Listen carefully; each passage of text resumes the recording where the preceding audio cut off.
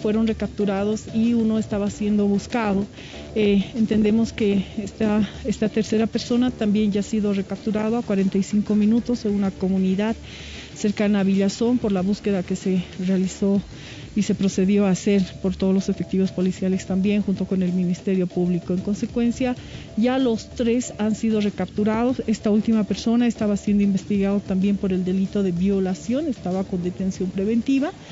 Uno de ellos ya contaba con sentencia por el delito de asesinato y bueno, eh, estos son los antecedentes que tenemos en relación a este caso.